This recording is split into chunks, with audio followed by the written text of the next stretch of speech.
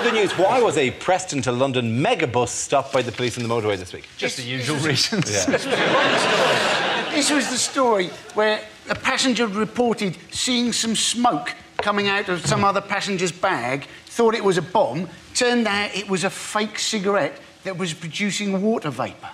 Now, let's face it, if you've been pulled over, loads of police have arrived, you've got guns in your face, you're being accused of being a terrorist.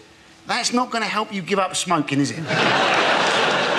They shut the M6, 17 police cars and riot vans, 13 fire engines, four ambulances, and an army bomb disposal truck attended the, the incident. They walked the people off with their heads in their hands. It was like, you know, and made them sit in the middle of the road. Those people on the megabus, that's not the first bad trip they've been on. is it? When were sat on the side of the road, you could see some of them going, this is the most luxurious part of the journey so far. I'm always being freaked out by megabus. I mean, do you- I don't it's not the, Well, the weirdest thing in the world, the mega. Nothing against the bus service itself, but when you drive, like you drive a lot of time on the motorway, going to gigs, like the back of the megabus when you're driving along, like when- for those of you who haven't had the pleasure, that's that you could. There's times you just get hypnotised by that weird. There are many things I've observed. Firstly, why does that man have such large breasts? Uh,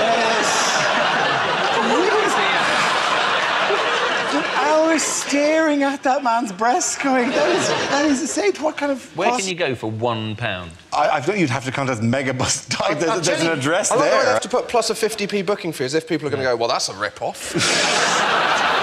I, I walked in here with this in my hand, expecting to be transported to a faraway land. Then I you want more money off you? Screw you, Megabus man.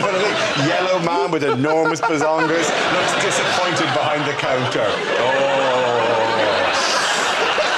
That is going to I apologise.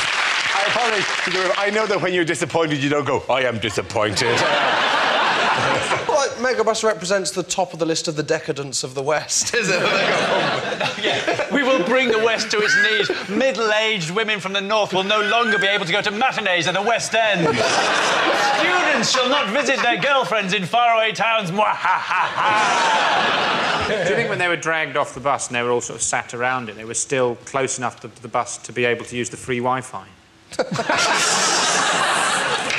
They get email the photographs of their own terror alert. Do you know what's really irritating about this for the entire in my ear constantly? People are going, "Wear the hat, wear the hat, wear the hat, wear the hat." hat? Because, yeah, they give me a yellow hat because they think I look like the Megabus guy.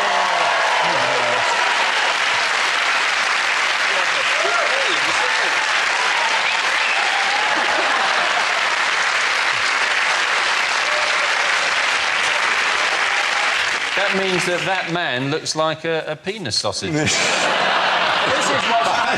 they should call it penissausage.com. Oh, something else is already called You're just penis. bringing this up to try and make everybody forget that you look like a penis sausage. That's exactly what's going on here. It's You just look like a penis sausage in a yellow hat.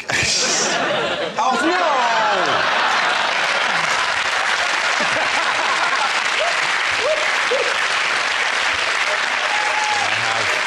I have lost ownership of the joke now. Somebody's got else. another new Twitter avatar.